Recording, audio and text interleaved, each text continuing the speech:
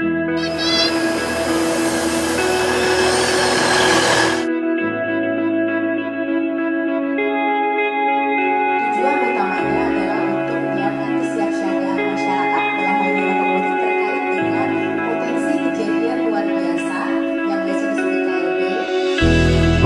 ini di Asia Pasifik ya hanya Indonesia dan hanya di empat kabupaten kota ini.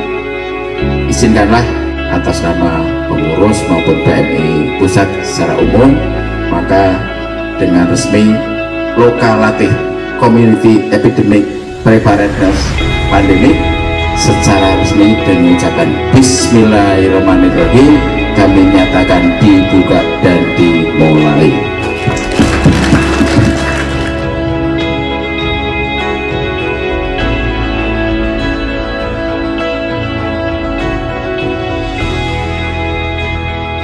Hari ini hari kedua pel- eh, lokal latih yang mana semakin hari dibandingkan hari kemarin semakin panas. Jadi banyak materi baru yang membuat kita harus benar-benar melek banyak hal praktek yang harus memang benar-benar dikuasai sebelum nanti melatihkan ke masyarakat.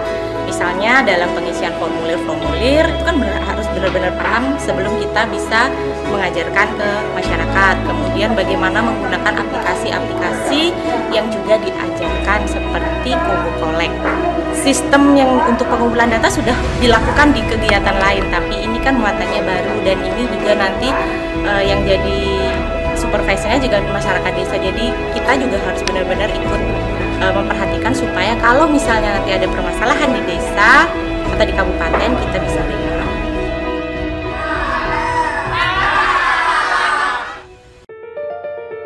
dengan berbangga hati Bapak Ibu dari Dinas Kesehatan dan juga Dinas Peternakan sampai detik ini masih sangat konsisten membantu. Tepuk tangan sekali dukungan ini mudah-mudahan bukan menjadi beban pekerjaan teman-teman Bapak Ibu di Dinas tetapi mendorong supaya sistem yang sudah ada yang sudah baik dibangun oleh pemerintah bisa mengcover mungkin kadernya sudah banyak, tetapi apakah menjangkau semuanya?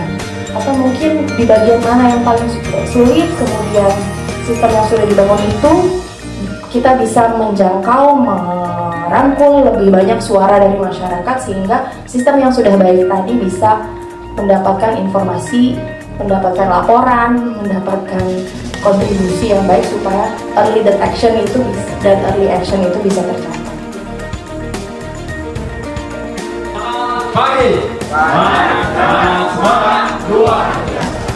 Ya, Assalamualaikum warahmatullahi wabarakatuh. Eh, saya Aib Syarifuddin, salah satu peserta pelatihan dari PMI Kabupaten Pandeglang.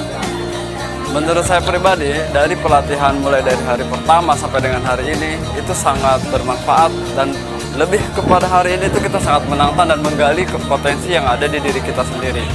Terlebih untuk potensi-potensi pada saat kita bertugas di lapangan dari hari pertama kita sudah mulai kegiatan hari kedua kita di refresh juga dengan beberapa ice breaking ice breaking yang tidak membuat kita ngantuk gitu dalam pelatihan yang sangat luar biasa ini hingga pada akhirnya hari ini kita melakukan simulasi-simulasi yang terus kita diajarkan agar kita lebih berkompeten menyampaikan beberapa pesan yang ada di eh, PMI kepada masyarakat setempat.